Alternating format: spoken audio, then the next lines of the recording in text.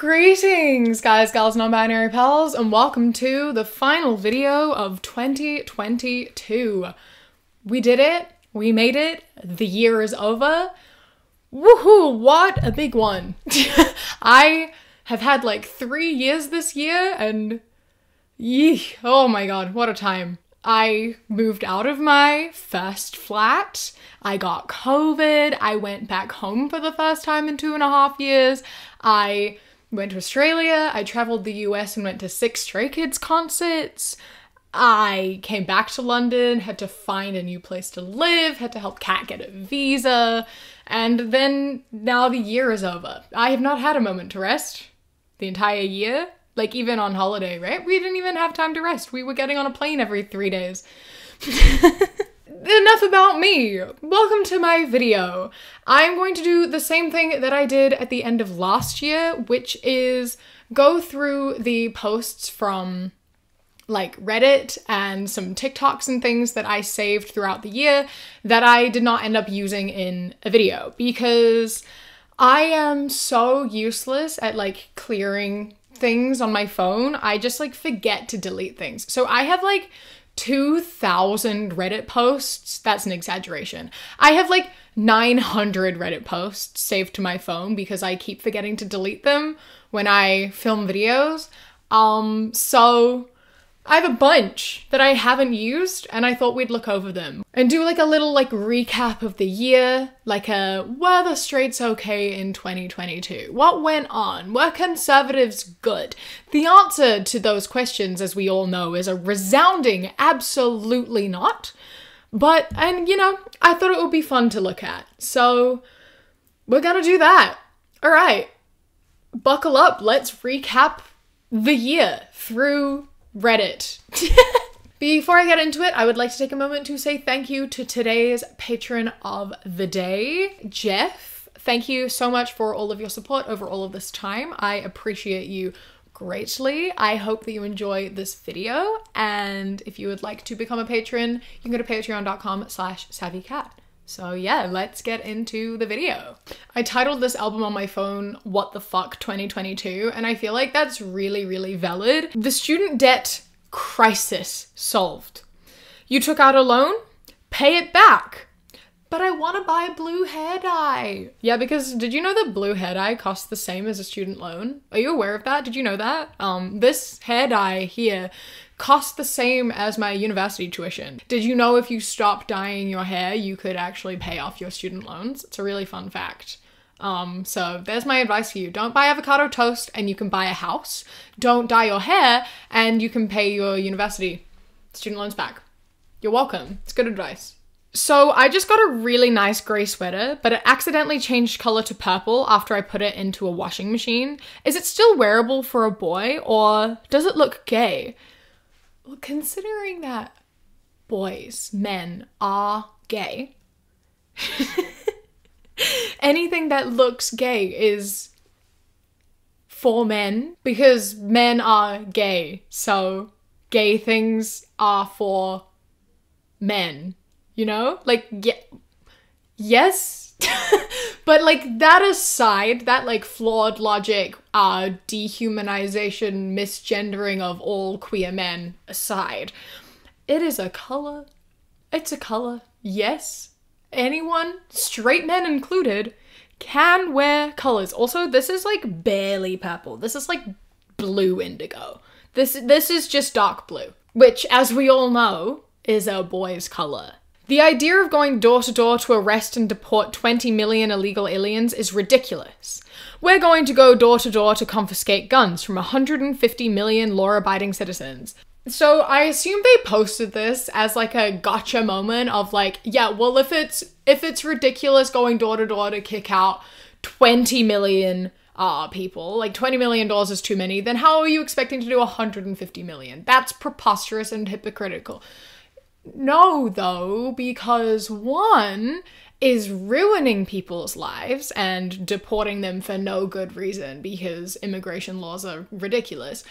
And the other is saving lives by potentially uh stopping, you know, shootings from happening. One is preventing murder, one is ruining lives. Like, there is a massive difference there. You didn't really prove a point. Ah.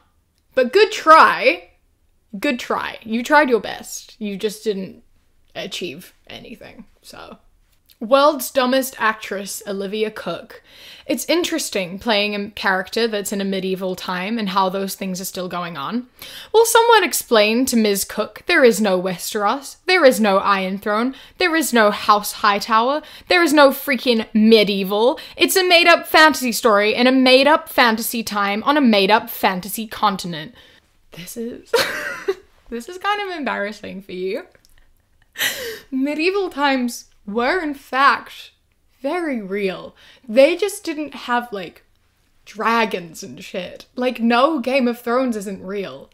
But like, it's so like baffling to me that people can consume media and not realize that they're trying to like make commentary. They're not basing it off of anything in real life, any events that have happened, anything that's currently going on.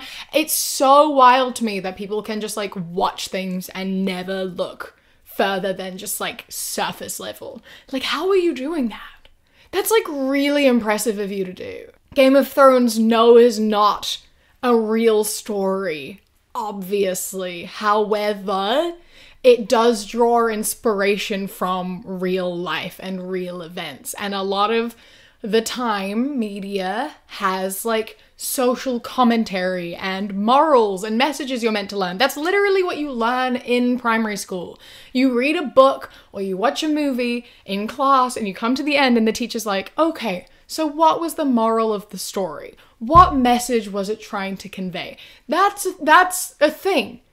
Movies, TV shows, books, they all exist to tell a story, not just like show boobs. I don't know.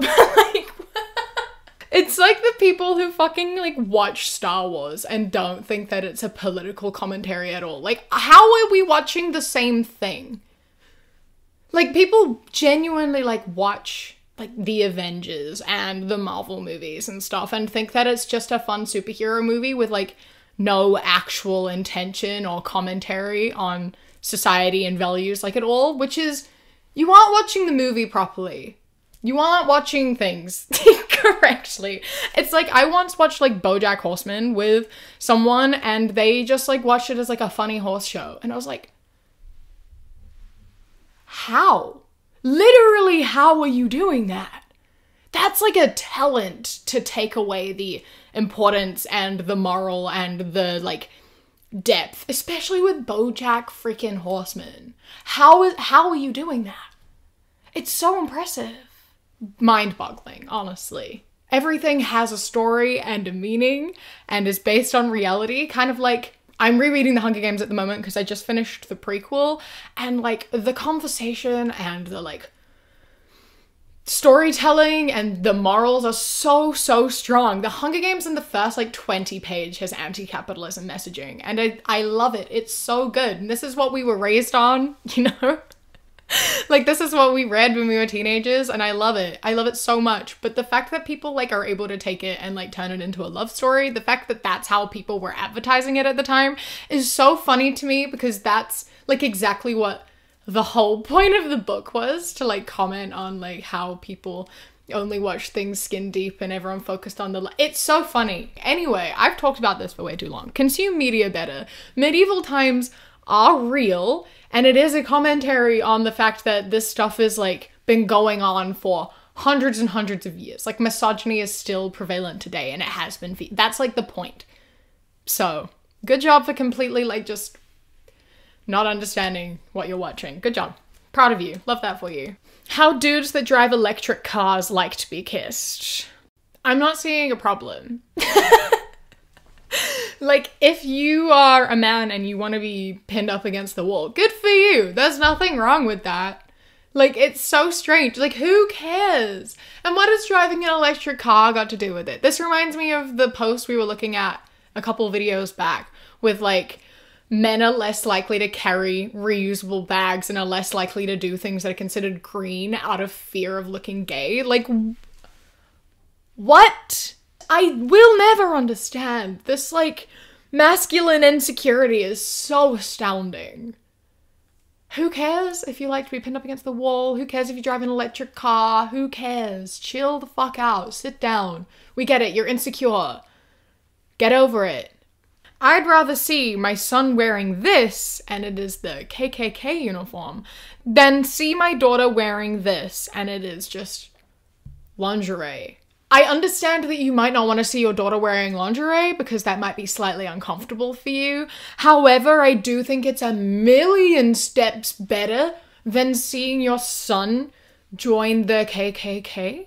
Is this implying, like, just that you don't want to see your daughter being a hoe or sleeping around or doing sex work or whatever? Because, like, women wear lingerie like genuinely for themselves sometimes just to feel good about themselves. Like wearing lingerie doesn't necessarily mean you're in sex work or you're sleeping around or anything like that. A lot of people wear lingerie for their long-term partners. A lot of people wear it for themselves.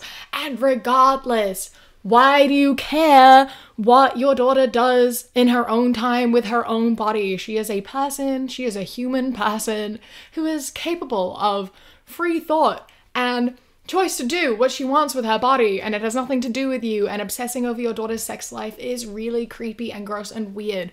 Why do you care? She's not your property. You don't own her. And don't be jealous of other men sleeping with your daughter because that's really gross and weird.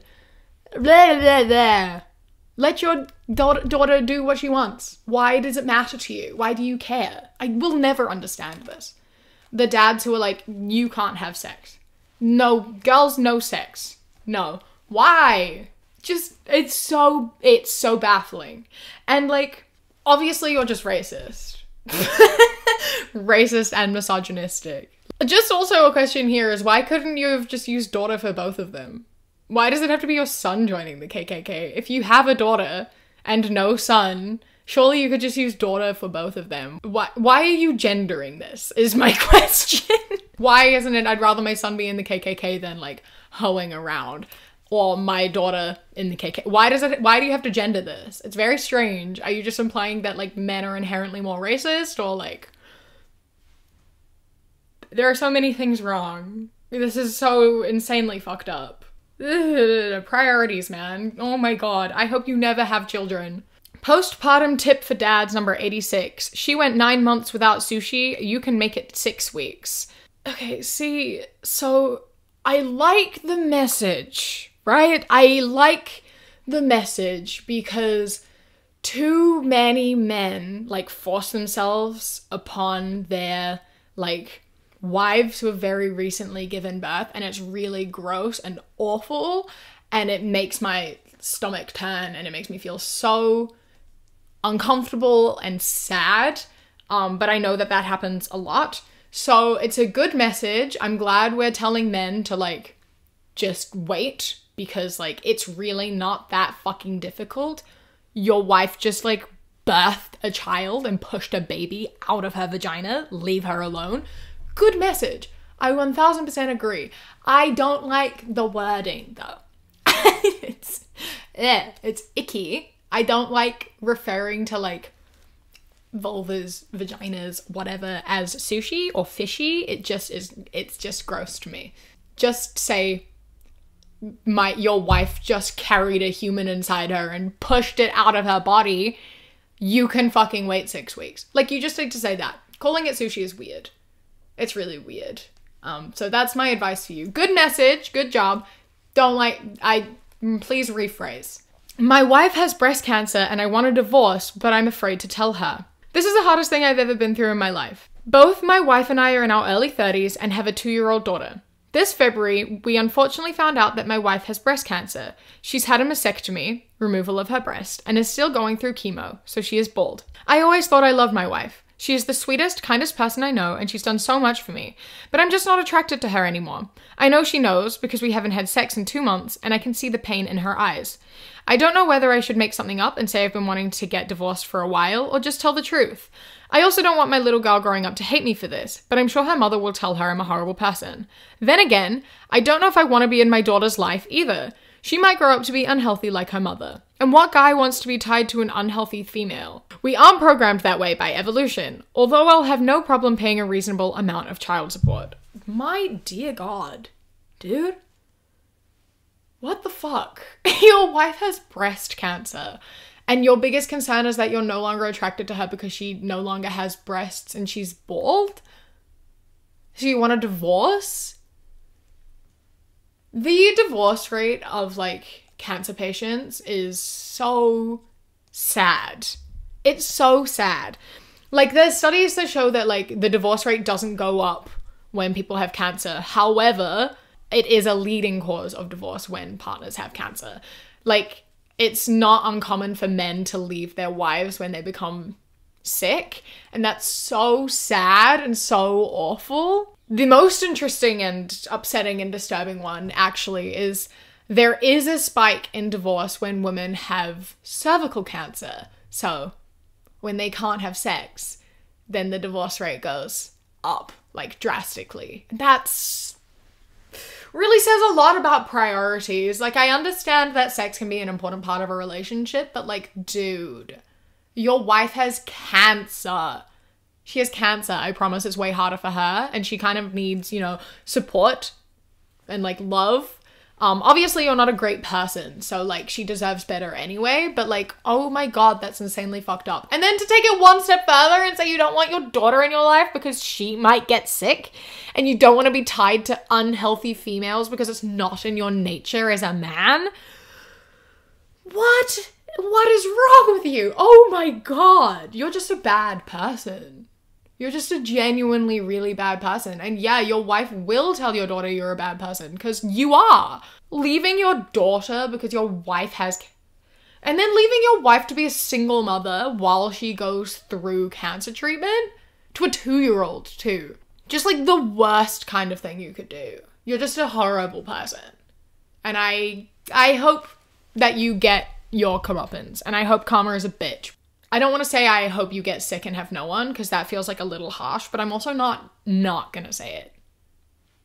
So, this is a photo of a man with a sign that says homeless, hungry, anything helps and a man standing next to him with like a Walmart hiring sign and someone captioned it, "Please help me with anything you can, but don't ever force me to actually work."